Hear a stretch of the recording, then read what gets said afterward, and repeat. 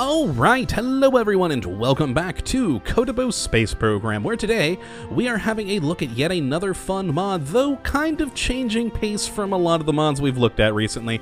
We've been having a gander at a lot of more serious mods in the game, you know, either if it's real world parts that have been Kerbalized and brought into the game, or hard science mods that, of course, have also been Kerbalized and put into the game.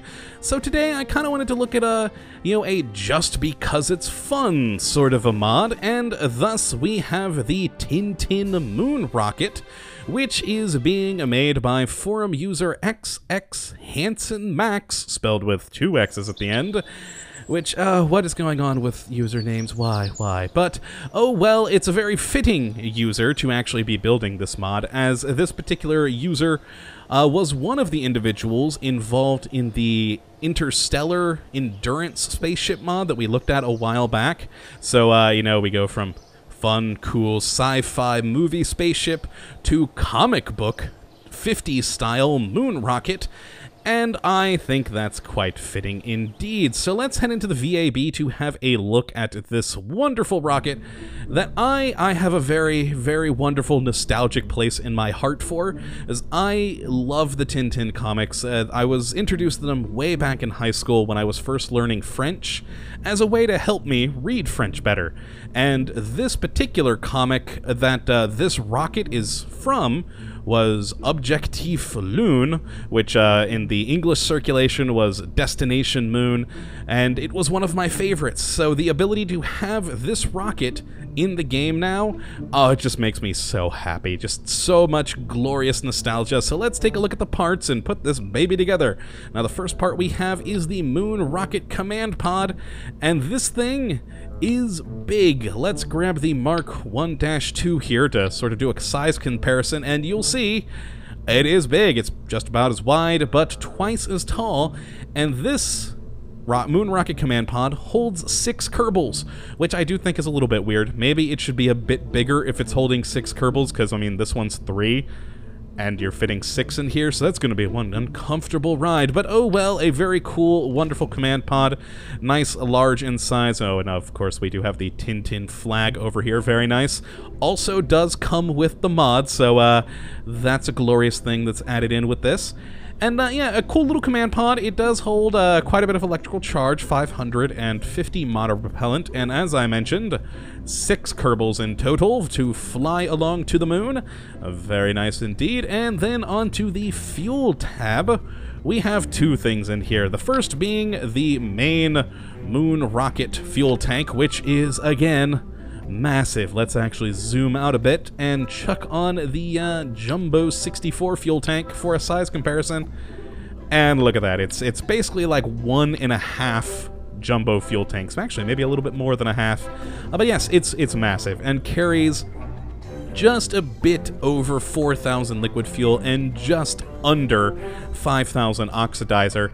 So a very, very large, large fuel tank with a crap load of fuel, but fun times for all. Now also in here we have the Moon Rocket RCS unit, which is uh, not just a fuel tank for RCS, but is also the RCS units themselves, as you can see from the lovely holes that we have around here. And it holds an additional 100 monopropellant from the uh, 50 that we have up in the command pod, as well as 360 liquid fuel and 402.2 oxidizer. That seems like a strange number, but okay, rolling with it. Uh, so yes, it also does have this liquid fuel and oxidizer, which is intriguing. I figured it would just have monopropellant, but oh well, this thing has a lot of fuel altogether, as you'll see momentarily. Now, in the Engines tab, we have nothing here at the moment, but that is one of the parts that they are wanting to implement into this. They are wanting to add in a proper engine to go along with the whole Tintin moon rocket. Uh, but for now, you just chuck on whatever engine you like, and then over to structural is where we have the next part. Let's actually detach this, as the part is a moon rocket command pod decoupler, and well, it looks like a poker chip and is the only decoupler for this that attaches just below the command pod and well it functions like any decoupler so that's That's really all you can say about that. And then lastly, in aerodynamics, we have two pieces. The first being a moon rocket nose cone, which pops right up there. And I believe this is supposed to become the parachute down the road. Right now, it's just a nose cone. That's all it does. It will not save your command pod from you know, destroying, or being destroyed rather, when you come back to the planet. Uh, but eventually, eventually it will also be a parachute. And then we have the, uh, Moon Rocket Wings slash Landing Unit, as of course this is a 1950s style rocket. It launches, goes to the moon, lands on its wings, and then comes back as any 50s rocket should. And these things are interesting. I love the shape, they fit in very well with the shape of the wings from the comic. Problem is, it has some performance issues. Whenever I do it to 3, which is what you're supposed to have for this rocket in the cartoon, or comic rather, well, it, it lags my uh, frame rate. I'm, I drop by about 5 to 10 frames. I don't know why. And uh, yeah, so it's, for some reason, there's some performance issues with them. And not only that, but also the fact that, well, they, they seem to be a little off in how they get placed on here. Like, uh, if you put them on anywhere like this, they end up looking like a fan. But if you get right in this sweet spot in here, and then sort of rotate them around. Oh, I borked up that. There we go. We rotated them around sufficiently. And now they are properly looking downwards. So I, I, don't know why that is the case, but that seems to be the only way to do that, unless you just go into full rotation. Though actually, these are a bit off center. Oh, that's that's gonna spiral to my death.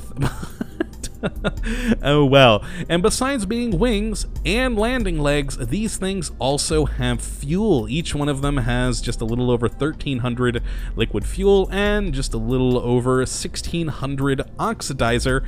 So altogether, this whole ship between the three wings slash landing legs, the RCS unit, and the main fuel tank this should have enough fuel to get from the launch pad to the moon and back, as it did in the Tintin comic. I, if I'm actually remembering correctly, it's been ages since I actually read this comic, but they burned uh, the engine all the way until the halfway point with the moon, then uh, then uh, decelerated the rest of the way. So the second half they burned towards the moon to decelerate, and it was interesting. Ah, 1950s understanding of spaceflight. But yes, this baby can do the same and make it to the moon and back on just the fuel that it has in here. Though I have had one problem with this so far. I, have I've been loving this rocket. I played around with it just before starting this. And it's a cool little design. Very cool rocket. But the wings, even though they have fuel and oxidizer, they don't seem to cross-feed into the main body. So I had to put in some uh, fuel lines onto it to make it cross-feed, because otherwise, you know, the rocket wouldn't even leave atmosphere before running out of fuel from the main tank and the uh, RCS unit here. We'd get a nice trajectory to get out into space, but we, uh, you know, stopped at about oh god, I don't even remember the altitude, but quite high up, not quite left the atmosphere yet, and our engines just stopped burning, even though we still had fuel in each of these three wings, and quite a lot of fuel at that. Almost as much as the fuel in here. So yeah, it's it's a little bit of an odd little bug. Hopefully that does get fixed. And speaking of things for the future of this, as we meant as as I mentioned rather, they are working on an engine that should fit in with this. And there's supposed to be, according to the little diagram that's on the mod post, a launch escape tower that will eventually possibly be made. So we might have something else to go on top here and then an engine to go on the bottom. Now, uh, we do have a lovely pre-built version of this that the mod creator included in the download file, which was wonderful because Oh boy, oh boy. If you want to put this together where your Kerbals can actually get in and out, uh, yeah, you have issues. As you can see on the mod maker's build of it, he has uh, ladders going all the way down the side, and roughly that point right there is the escape hatch. You can't see it because, well, there's no visual representation of it on the text string at the moment, but yeah, that's where they come out. So I found that out the hard way. And as you can see down here, we do have these uh, fuel crossfeed. So I guess, I guess maybe uh, the mod maker may not fix that. It may just be a part of the mod you have to deal with. But I'm hoping, I'm hoping it does get fixed because that's kind of weird having these, and it does look like it had some struts onto it too. Intriguing. Intriguing indeed. And then, of course, a glorious Rockomax mainsail for our engine today. And this baby should get to the moon and back. We're not going to do that flight because here today, as um, I'm an awful pilot and we probably would make it to the moon and then die. So we are going to launch it though, just so you can see the rocket in action, at least in atmosphere here, and uh, get a taste for what you will have in store for yourself if you decide to go and play around with this, which I hope you do. It's just so much fun, especially if, like me, you love the Tintin comics. I just, it, they're, they're absolutely glorious. And ah, uh, this thing is just so beautiful. Look at it. It's it's just it's magnificent in all of its 1950s V2 rocket inspired glory. Ah, it's beautiful. So yes, let's launch this baby off, add a little SAS, and fire in three, two, one, liftoff. Oh, I forgot the throttle up. That would help. See, there's that me being a crap pilot thing there, and why we won't make it to the moon. So yeah, one of the things I'm hoping with this mod that does get fixed is, uh, as I said, they are wanting to work on an engine, hopefully. Again, it's in the diagram that they have made for the mod. I'm hoping the engine is more powerful because this baby is heavy. I mean, between this main fuel tank, the RCS tank, and these three wings, we've got 8,000 liquid fuel and like 9,000 oxidizer. So this baby is real heavy, so I'm hoping whatever engine does get made is uh, nice and powerful, because this thing is slow. Very, very slow. But, you know, well, there's the moon. Let's just start burning towards it for no apparent reason whatsoever. There we go. Not a proper gravity turn, but oh well, that's what we're going to have to deal with today, as, yeah, we're not going to make it all the way to the moon. Not with my flying, we won't. But yeah, it's it's a fun, fun little crazy mod. I, I love the look of these old 1950 style rockets. And of course, it being inspired by, you know, Objectif Lune, my favorite Tintin comic it's just it's great. It, it, just hits it hits me right in the nostalgia and it's just beautiful. So i hope you do go and check this out for yourself if you want to. Of course follow the link in the description as always.